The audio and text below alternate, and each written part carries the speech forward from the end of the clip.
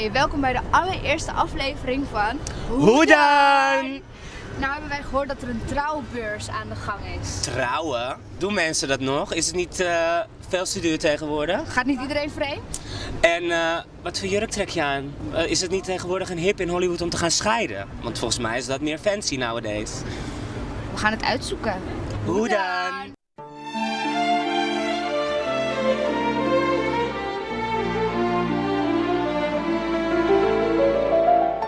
Ja, ik zie hier alleen maar meiden die zonder hun mannen zijn gekomen. Dus ik vraag me ook echt af of er ook echt stelletjes zijn die echt gaan trouwen. Want daar ben ik toch wel nieuwsgierig naar. Wat denk jij? Echte liefde bestaat niet. Hoe dan? Gaan jullie trouwen? Ja. Jullie gaan trouwen. Oké, en wie heeft nou wie gevraagd? Hij mij.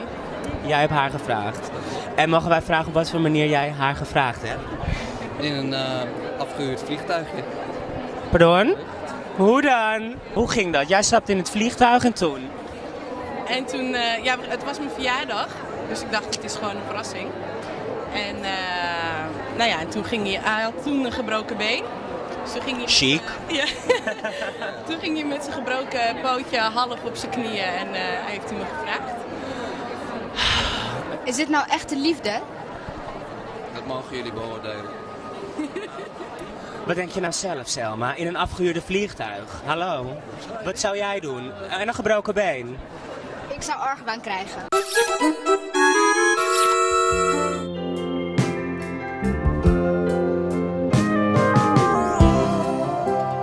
Ik zie dat jij een hele mooie jurk aan hebt. En ga jij heel toevallig trouwen?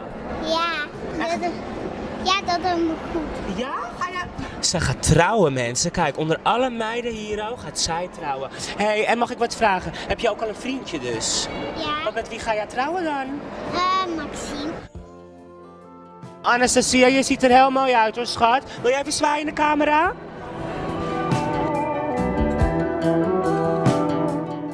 Uh, Marieke, vertel eens even wat over deze ringen. Nou, wij maken al onze ringen een eigen atelier. En eh, daardoor maken wij ook ringen die net even wat anders zijn dan de meeste eh, ringen bij de juwelier. Dus eh, iedereen kan ook zelf bepalen hoe zijn ring eruit komt zien. Ja, dat is heel leuk. En ehm, wat is denk je de populairste ring? Waar kiezen mensen het meeste voor? Nou, vandaag is deze ring heel populair. De- vooral deze mannenring. Die heeft dan wel een, een steen erin en is toch stoer. Dus dat is een ring die heel populair is bij de mannen. En dan deze ring is vaak bij de dames populair. Omdat deze net ook weer afwijkt van de standaard trouwring. Maar wel eenvoudig en tijdloos is. Kiezen mensen daar ook echt bewust voor tegenwoordig om een meer eh, iets, te- een ring te kiezen die afwijkt inderdaad? Mensen- Ja, nou, ik vind van wel. Maar het is ook een beetje het publiek dat wij aan proberen te trekken natuurlijk. Meer de wat... Ja, eh, wij zijn goudsmeden, dus wij krijgen vaak wel mensen die net even iets anders willen dan, dan wat standaard is. Dan dus wij hebben over het algemeen wel mensen met speciale wensen. Wij staan hier met Judith van Juju's Bruidsmode Amsterdam. Wat is nou de populairste bruidsjurk? Wat is nou echt hip? Echt hip zijn de japonnen met ophalen. Een beetje asymmetrische lijnen, dat vindt iedereen wel leuk. Je merkt zeker dat de mensen eh, die eh, hun eigen stijl een beetje gaan zoeken. Dus ze willen eh, een kleurtje erin of eh, net een, een extra ophaal erin. eh, net wat anders dan het wat standaard is. En het is een beetje eigenlijk ook de tijd. Hè. Mensen willen gewoon eh, zich eh, eh, uitspreken eh, in smaak en door middel van iets eh, zelf eh, toe te voegen. En nou heb ik begrepen dat het bijvoorbeeld voor de, onder de lesbo's dat het big business is. Want dan verkoop je twee jurken. Hoe zit dat? Dat, eh, dat klopt. Alhoewel de, de meeste eh, lesbische stellen, die kies, nou, meestal kiest er één van de dames eh, voor een japon en de andere toch voor een, een pak of nou ja, iets, iets eenvoudigers. Ik vind het best wel stoer als een lesbo-stel een pak en een japon zou dragen. Maar bijvoorbeeld als twee mannen zou ik het, ja, dat zou ik dan weer anders vinden. Alhoewel, ik trek hem graag aan, omdat ik vind echt dat je prachtige jurk hebt. In wat voor jurk ben jij getrouwd? Ik ben in een vrije klassieke japon getrouwd met wat asymmetrische lijnen die je figuur iets mooier slank eh, maakt. Want ja, goed, eh, eh, maat 38 eh, ging ik niet in.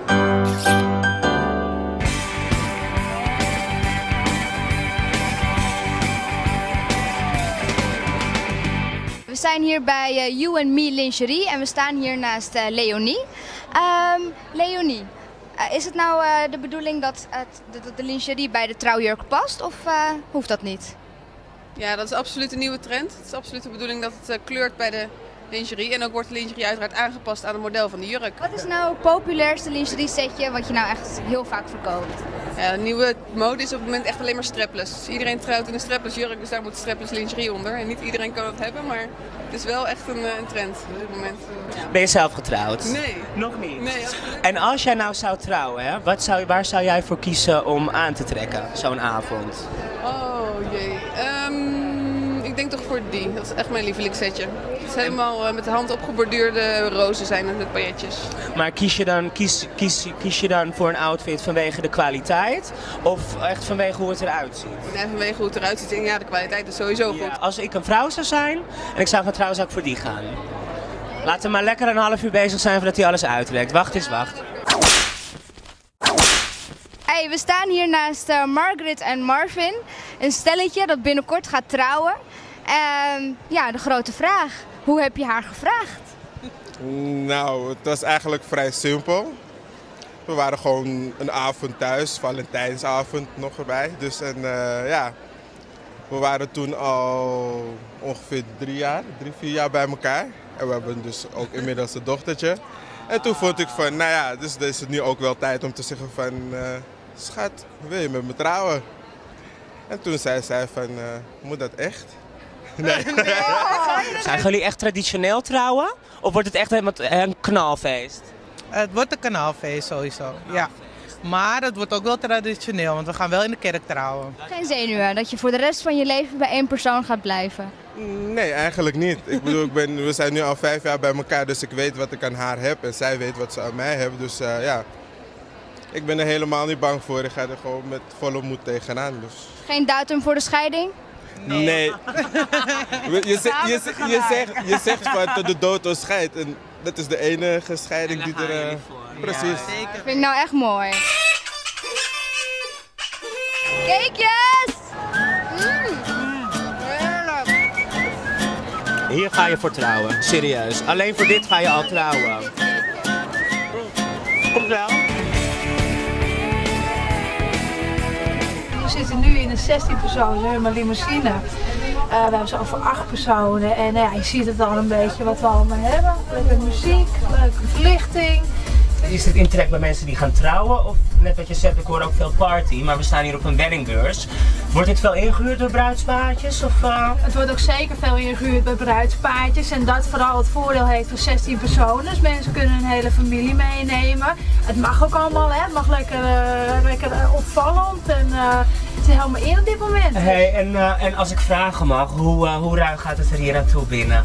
Als mensen gaan trouwen, is het echt wild? Zijn er, is, wat is het, het heftigste wat hier binnen gebeurt, zeg maar? Ja, dat laat ik aan de chauffeurs over. Dat, eh daar bemoei ik Oké, maar dat niet. ziet het wel heel rockstar uit ergens.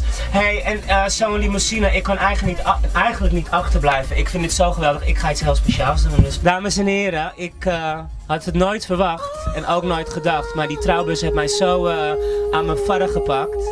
En Selma, ik ga op mijn knieën. Lieve Selma. Lieve Selma, jullie denken allemaal hoe dan, maar inderdaad hoe dan. Dat ik je zag dacht ik inderdaad hoe dan. Maar ik ben aan een dag met je opgescheept. Te lang. En ik wil het bezegelen. Krijgen we nou? Mag ik je rechterhand? Wil je met me trouwen? Lieve Ricardo, ik zou niets liever willen.